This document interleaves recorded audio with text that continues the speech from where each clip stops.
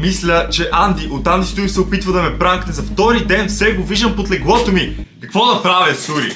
Така, имаш два варианта. Първият, викни полиция, това, което прави е незаконно. Покажи му закона, кажи, Анди тук не пише, че можеш да го правиш това. Втория вариант, ако то не проработи. Той е под леглото, нали? Хвърляш малко хляб до леглото и когато той изпълзи към хляба, крещейки О, мога човек хляб! О, мога човек хляб! Да, къде си хляб! Отиваш при него и му прошепваш. Ти беше враг на Данди.